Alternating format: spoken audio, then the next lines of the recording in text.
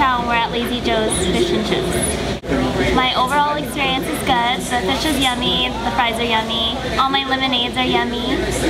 My favorite lemonade is the strawberry. my first impression of this place is that it was hot.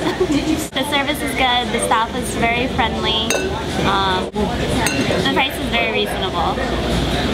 Yes, I would come back with friends. I give this place a 3 out of 5.